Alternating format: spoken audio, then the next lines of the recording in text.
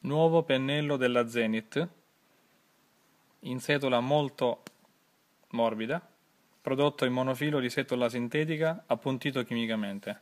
Crea una morbidezza estrema, nato per le vernici d'acqua, si presta benissimo anche per eh, tutte le vernici a solvente.